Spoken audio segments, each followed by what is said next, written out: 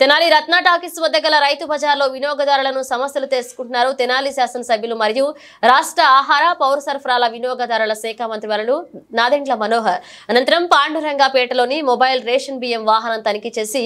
లబ్ధిదారుల నుండి సమస్యలు అడిగి తెలుసుకుని అధికారులకు తగు సూచనలు చేశారు